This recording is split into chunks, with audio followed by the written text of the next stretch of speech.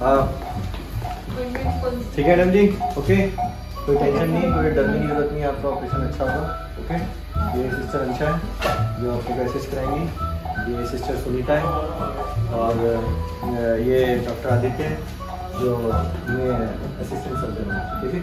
Okay ठीक है? Sure कोई घबराहट तो नहीं हो रही? ठीक है। तो ये इस पेशेंट का एक्सरे है, जिनका ये आर्म बोन है। आर्म बोन में यहाँ पे फ्रैक्चर पार्ट है और यहाँ पर भी कुछ मल्टीपल बोन टूटी हुई हैं। आइए इनको ऑपरेट करते हैं। तो now we have done the procedure now if you will see here this is quite good this is a nerve that we can see okay and now the movement is quite good you see this movement is nice operation is over when operation is over, yellow. तो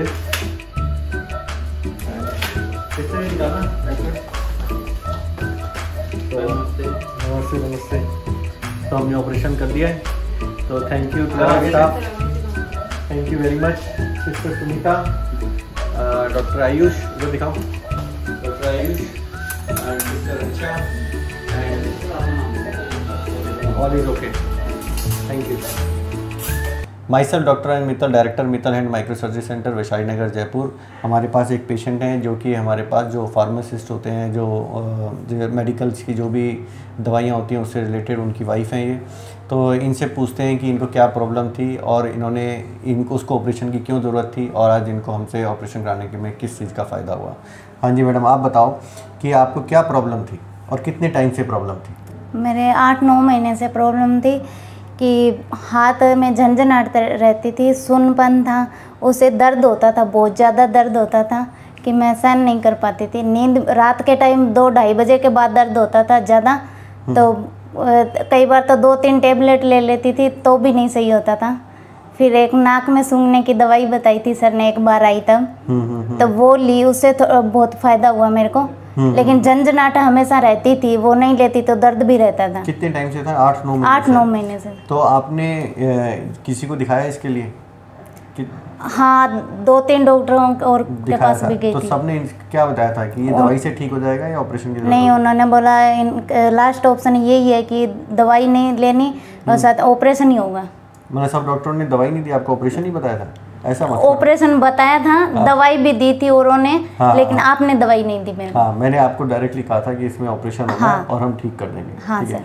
अब ये बताओ जब भी जब हमने आपको कहा कि इसके ऑपरेशन से आपको फ़ायदा होगा तब आपके अंदर क्या हुआ?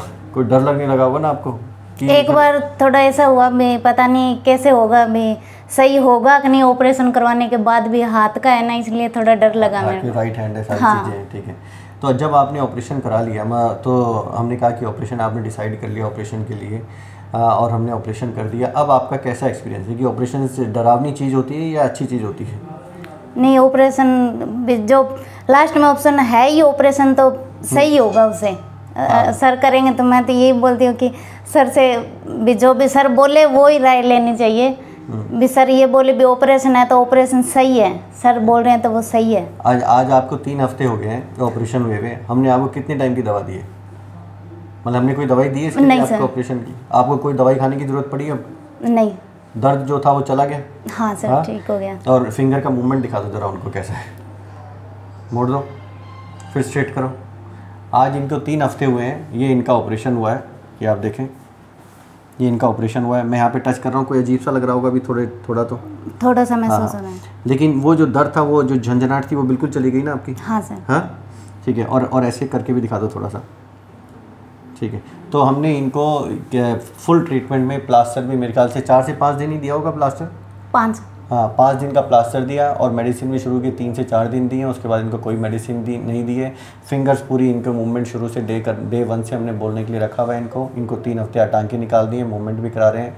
और कोई दवाई नहीं दे रहे हैं और पेशेंट का जो प्रॉब्लम था जो दवाइयों खाने का दर्द का सहन का रात को उठकर जागने का और फिर बार बार दवाने का दवाई खाकर फिर दोबारा सहन दर्द को कंटिन्यूसली सहन करना आठ नौ महीने से वो कोई प्रॉब्लम इनको नहीं है। और अ, मेरे ख्याल से जो भी रूटीन काम है अब आज से हमने इनको बोल दिया कि रूटीन काम धीरे धीरे स्टार्ट करो जिससे जो आपका हाथ है वो रूटीन टास्क को करने के लिए रेडी हो जाए और आप नॉर्मल हो।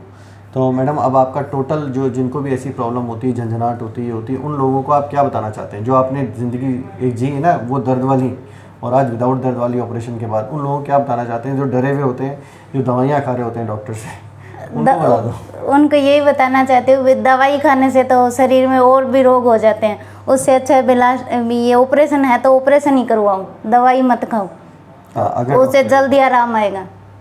ठीक है तो इनके द्वारा हम यही बताना चाहते हैं कि अगर किसी चीज़ का इलाज ऑपरेशन के द्वारा हो सकता है और जो रीजनेबल टाइम में ठीक नहीं हो रहा है तो आप उसका जो भी डॉक्टर कह रहे हैं स्पेशलिस्ट उसको फॉलो करो और आपको फ़ायदा ही होगा उससे। Thank you so much